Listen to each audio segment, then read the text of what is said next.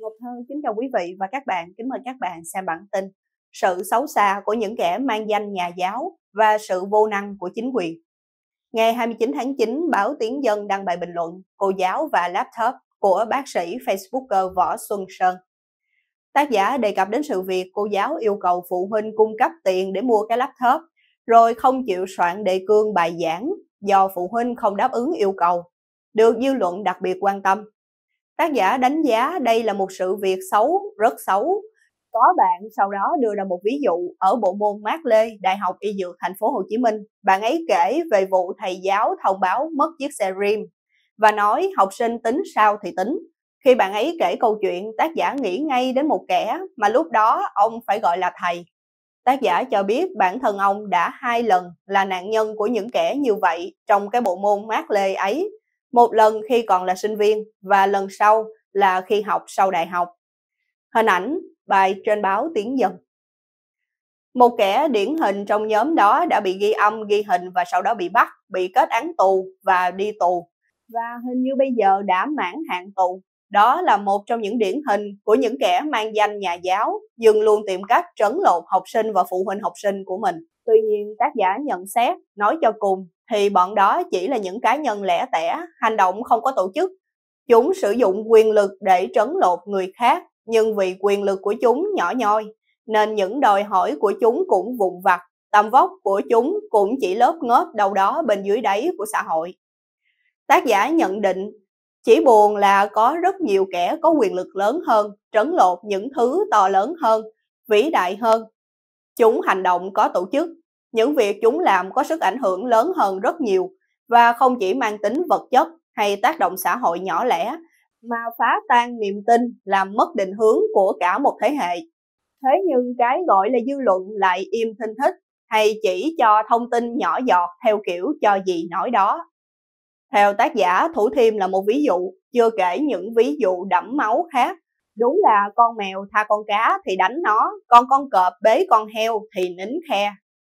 Trở lại vụ cô giáo xin tiền phụ huynh mua laptop, ngày 28 tháng 9, báo chí nhà nước cho biết sự việc xảy ra ở lớp 43 trường tiểu học Chương Dương, quận 1, thành phố Hồ Chí Minh. Cụ thể, cô H, giáo viên chủ nhiệm của lớp 43 bị mất laptop, nên ngỏ ý muốn phụ huynh ủng hộ khoảng 5-6 triệu. Cô bỏ vào 5 triệu để mua lại laptop mới. Cô cũng nhắn tin xin phụ huynh chiếc laptop này. Hình ảnh trường tiểu học Chương Dương Kết quả là có ba phụ huynh không đồng ý nên cô giỏi, không nhận laptop và cũng không soạn đề cương ôn tập cho các con. Tuy nhiên sau đó khoản kê 6 triệu mua laptop vẫn thể hiện trong bảng chi phí mà cô H gửi ban đại diện phụ huynh. Sự việc bùng lên khiến phụ huynh bức xúc và phản ánh với báo chí là cô H đã cho học sinh học qua TV, YouTube quá nhiều rồi tự làm bài tập theo. Nhiều học sinh không chép kịp phải bỏ luôn.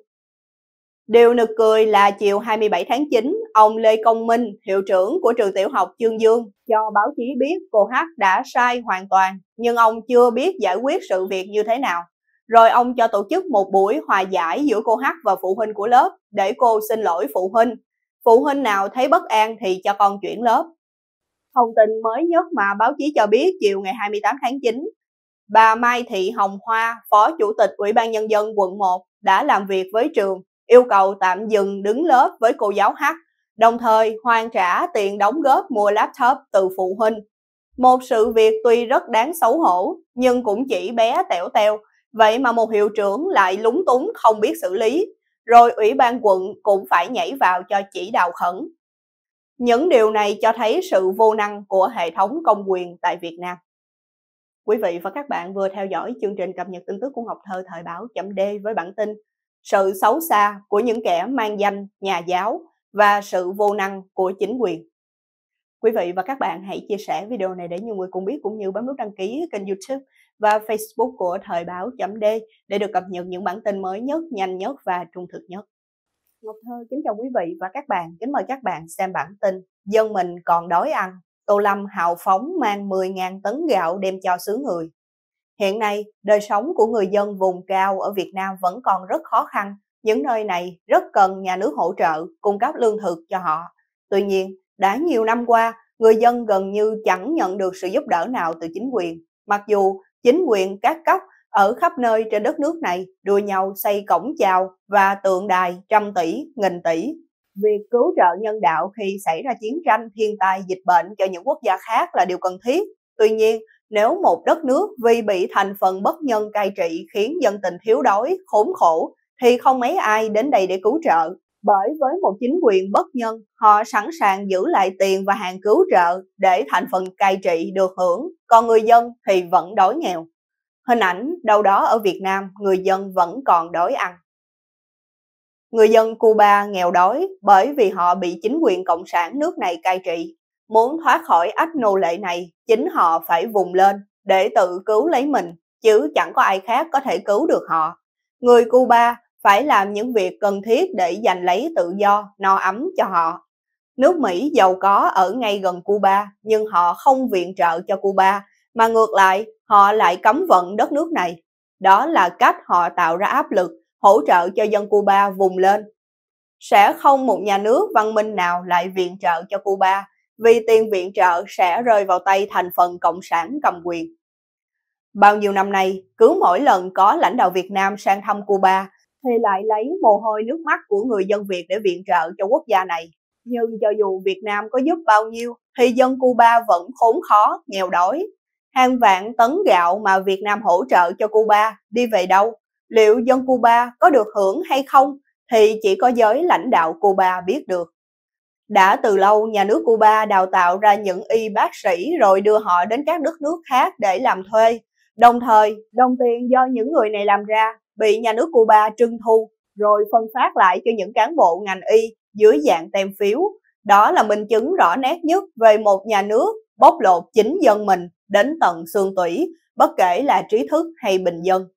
Cho nên số gạo mà nhà nước Cộng sản Việt Nam đem tặng cho Cuba chính là tặng cho thành phần cầm quyền, chứ sẽ không đến tay người dân Cuba bần hàng khốn khổ. Việc mang 10.000 tấn gạo tặng cho Cuba chẳng khác nào đem mồ hôi nước mắt của nông dân Việt Nam vứt vào túi tham không đáy của giới cai trị ở đảo quốc vùng Caribe này. Ở Việt Nam, quan tham ăn trăm tỷ, ngàn tỷ, nhiều như rươi. Ở Cuba, cùng một thể chế chính trị, liệu có sạch hay không? Hình ảnh mồ hôi nước mắt của nông dân Việt bị ông Tô Lâm vứt vào túi tham của giới cai trị ở Cuba.